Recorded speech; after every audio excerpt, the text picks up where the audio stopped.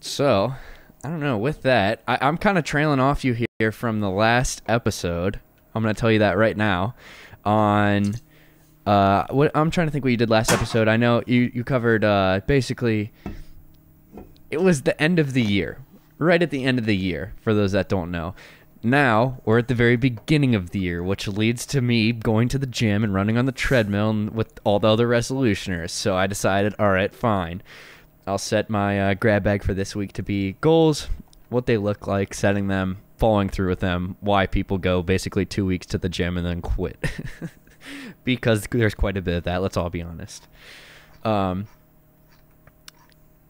and I think just to first get started, you have to ask yourself, what is goal setting, honestly? Some people have trouble sticking to goals because they don't distinguish their goals from more casual, everyday self improvement efforts. And I think that's a big thing to note because you look down the road, you say, where do I want to be in 10 years? Where do I want to be in five? Where do I want to be in two? Where do I want to be in one? What am I going to be doing in the next quarter, you know, half year out? Um, what am I going to do today? And what I kind of distinguished with goal setting is you have to have the one year, uh, or basically the yearly, but you have to have the 10 year. I think the vision is what the t- I describe as the 10 year. You, you can have a morphing 10 year goal, but if you make it too lofty, sometimes you get into the, all right, this is never gonna, you know, wow, did I way underestimate myself? I'm here in a year, or oh my gosh, I'm never gonna be able to. I'm, I'm not walking on the moon. I don't even know how space works. Uh, so basically, with goal setting, uh, just because getting back into what I have here, uh, not to tangent off too much, uh, just because you decide to start running every day doesn't necessarily make it a conscious goal. Uh, so basically, I want to get back into what goal setting means, and I, this this one was copied. This first sentence here, this first show note was copied, and I kind of took it personally because I was honestly just running with no purpose in mind. I would go out, I'd run like two miles, three miles, and just call it. I'd be like, oh that's great.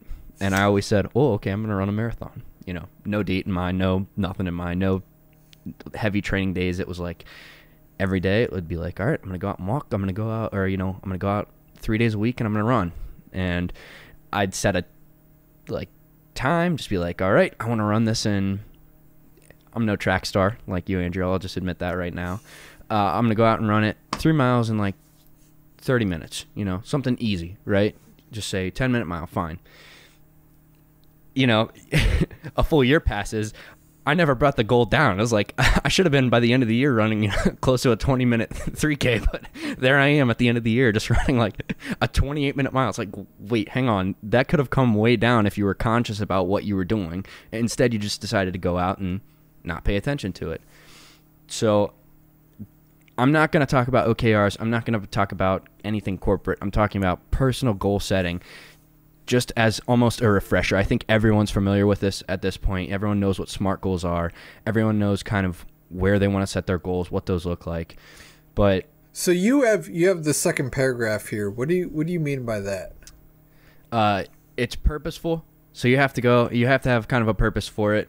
Uh, it's explicit obviously for, there's an explicit goal setting. Yeah, goal setting. Yeah. Goal okay. setting is a purposeful and explicit process that starts with identifying new objectives, a new objective skill or project you want to achieve. Then you plan for achieving it and you work to complete it. Basically, you can't just aimlessly meander with daily tasks and then expect at the end of the year that they piled up into something important mm. because usually that's unfortunately not how it works. You have mm. to have some kind of goal, right? So I really liked uh, purposeful. Um, actions have to have purpose, right? There's no, you're not, there's no sense in doing something without a purpose, uh, which kind of brings us back to I think like the first or second episode. It always somehow it always keeps coming up the autonomy, ma- mastery, and purpose discussion. Mm-hmm. You know, why am I doing this? What's the purpose of it? Am I making the decision on it? Um, yeah, the three keys of motivation. Yeah. It's like what? Yeah what what motivates me to do something? Well, you know, having autonomy over doing it, becoming having mastery at it, you know, getting getting mastery of it's it, the, and, and, it, and purpose, yeah. the purpose it, of it. And really, with goal setting, it boils down to the two at the end. It's achieving it and completing it, which are basically the same thing, or working towards completing it. But with that being said, um, smart goals, I it's something I always try to refer to because usually I'll set some goal. Uh, I I set most of my goals in a in a Kanban, and I set the dates for like 12:31. Honestly, so I woke up. Uh, I kind of set them in the first week, and I set them for 12:31. I don't set them in a calendar. Don't ask me why. It's because if it you know if something happens on the board and I need to move it, I can't. You know. Yeah. I can say, look, I planned for to do this this year, but guess what? It's not happening. I'm not gonna do it this I year. I mean, but, specifically to that, I mean, this year I was hoping to get like a. What did I shoot for? I th- I wanted to shoot for somewhere around a 21, 22 minute 5K. Like I, yeah. I thought that was pretty achievable.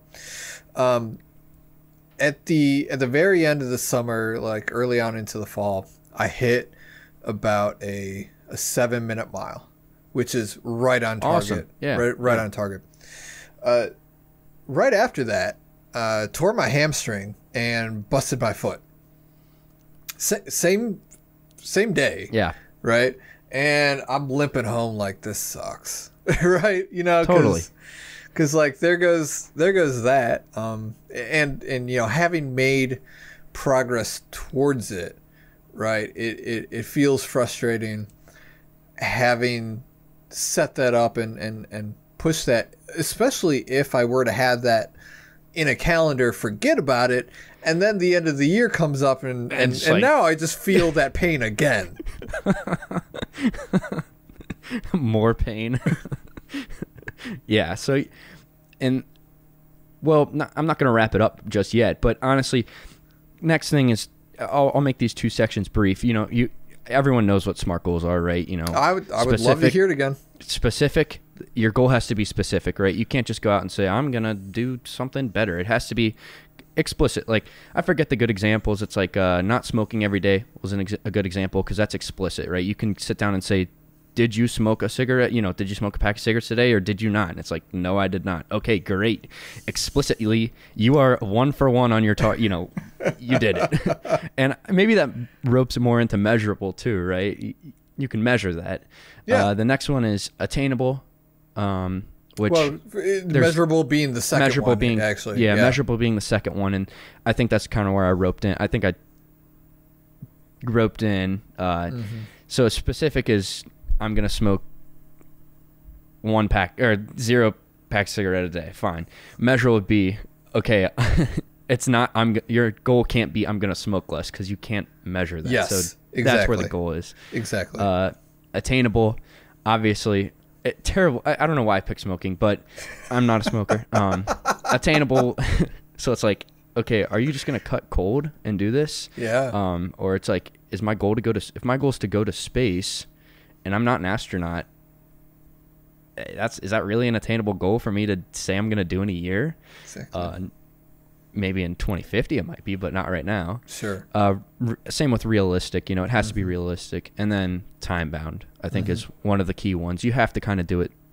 You have to kind of choose well, a timeline on, for this. Yeah, to harp on that time bound thing again, that is to me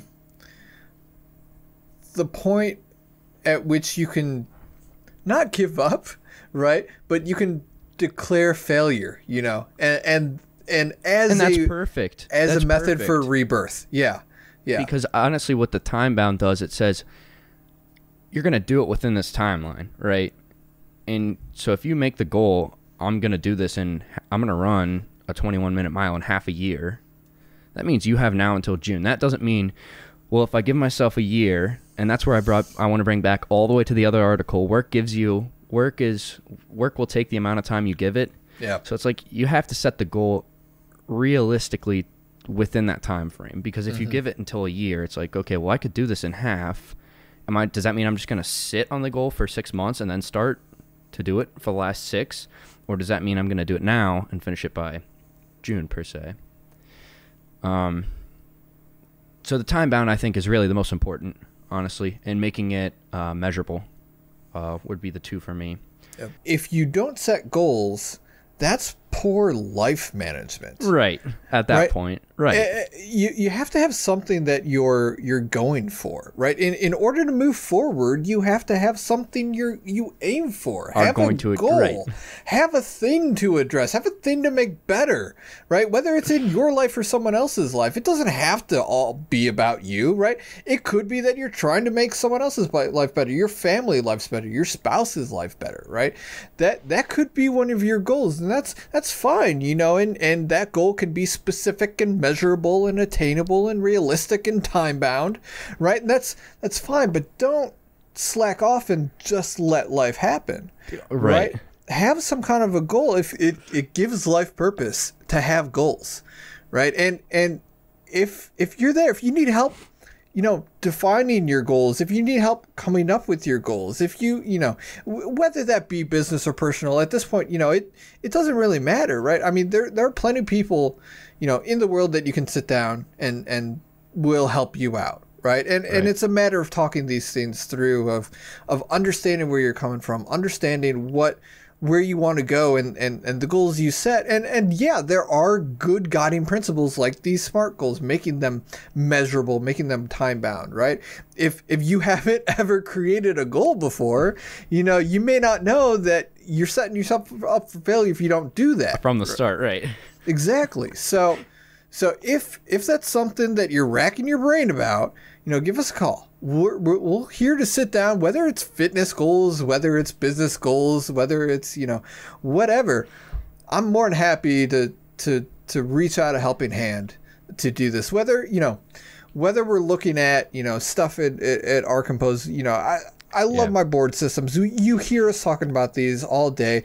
I am converted, use... honestly. Yeah, I'm converted to the board system. I said you got to write the goal down. Where did I write it down? I didn't write it on my calendar. Wrote it on my board. But there yeah, go. go. ahead. Yeah, there you go. Yeah, and and you know, I, I think this is a tool that helps people. If if you have a tool that that helps you as well, that's that's great, right? Let's make sure that we're doing these things. We're making life worth living, right? And and I'm more than happy, even if it doesn't, you know, it's not something about OurCompose. I, would much rather it be because I, I think these tools help, right? But I'd be more than happy to sit down and, and, and go over go over anything like that with you. So reach out. I mean, the contact contact uh, form is on our website, ourcompose.com, right? Sign up for the, the, the mailing list if you want, or, or just reach out. I mean, we love this stuff. We live and breathe this stuff, right? And and we will continue to be here doing this. And with that, we hope you enjoyed this final run deck episode. Thank you. Be safe. And we'll see you all in two weeks. Bye, everybody.